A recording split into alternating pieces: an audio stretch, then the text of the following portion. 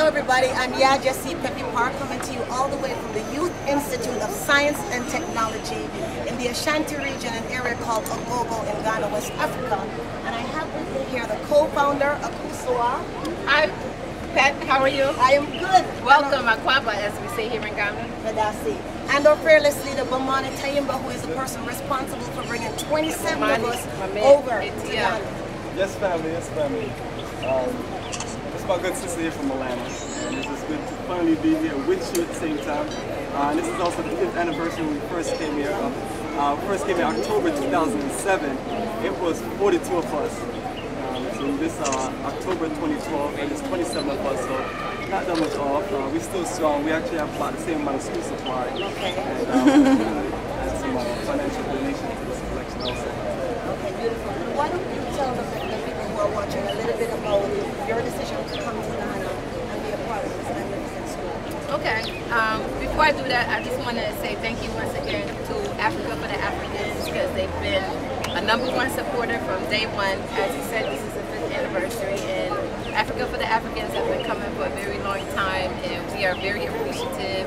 And um, some of the kids that will get a chance to talk today have actually they started school when we first started coming. So if you go on the website, you'll see a lot of them as babies, and now Wow. they've grown up.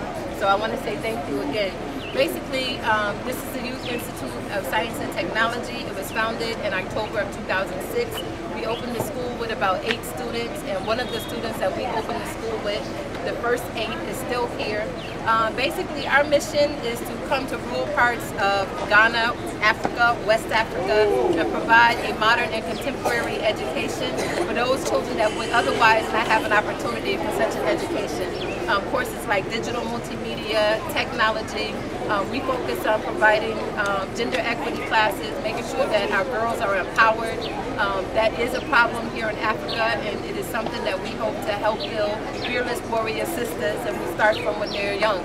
So that's basically our mission, um, but we don't do this alone. We do it with a lot of support from Africa for the Africans and other different NGOs and people back at home that send $5, that send $10, whatever they send, we make sure that we put it to good use. Beautiful. And I was talking to one of your students earlier, and he told me that you have 287 students are enrolled. We have 287 students, and basically we have um, maximized the capacity of this facility. This building is actually donated to us by the community.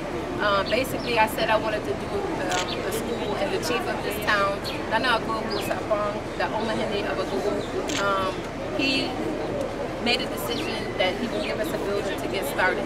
So the community wanted the school, they made it happen. We're at 287, we have a waiting list, we don't really accept any students.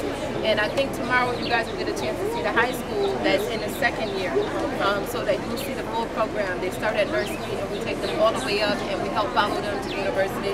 The whole goal is for them not to be so um, let me say, brain drain minded that they want to leave and go to America like the West is all that. Right. We want to provide them those experiences when they're early so that they can come back here and start nation building and development of their own country. So that's what, you know, that's what our goal is. So we're taking it from nursery all the way up to high school. Okay, and as you can tell, we brought a lot of stuff. We brought Yes, family. a lot of donation from the States. Every time we're coming to the States and folks are wondering what they'd like to donate, we have to try and maintain contact with school organizers to find out what are some of the immediate needs of this school. Okay, our immediate needs are always um, pencils, exercise notebooks, That's but um, it's unfortunate you come early. We actually got a donation of 60 computers this year, so by the time you guys come back, there should be a computer lab.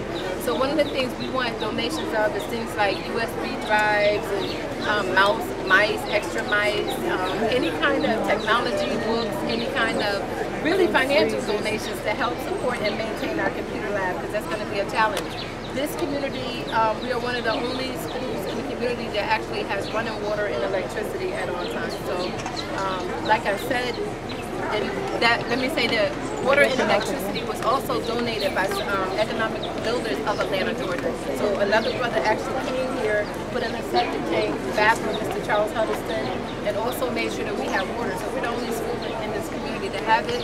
Um, and hopefully by the end of this year, we will, we will have a computer lab for our students finally. Excellent, excellent, excellent.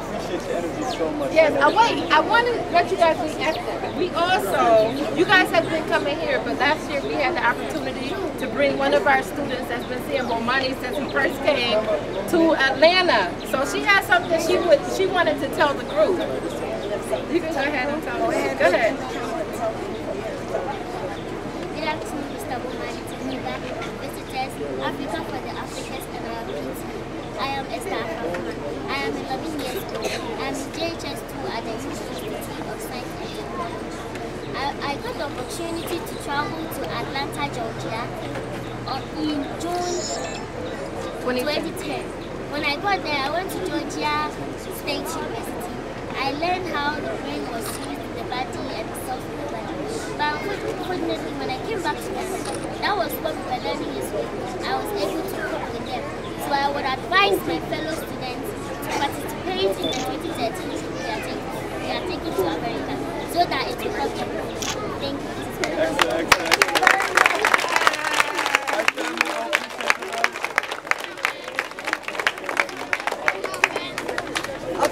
So great. I'm probably going to ask her to host the next pep talk when we do it again. But before we go, we have two people who came from the States we wanted to bring on camera. Because like I said, this is a collective effort. Lots of faces you're not seeing. So Sister Danson Meyer, real quickly, and then Gary Stokes. All right? So I bring greetings from Atlanta, Georgia, United States. Um, from uh, there are three teachers there that uh, heard about this trip to send greetings and love and support to all of you. So I wanted to speak the names of uh, a teacher of the year two times in a row in Atlanta, Georgia, Sister Stephanie Cooper, who donated um, goods uh, to the school here, uh, Sister Sabrina Muhammad and uh, Shuja's Barbecue, they donated quite a bit, and also Sister Lanice Muhammad. They bring greetings and support to You guys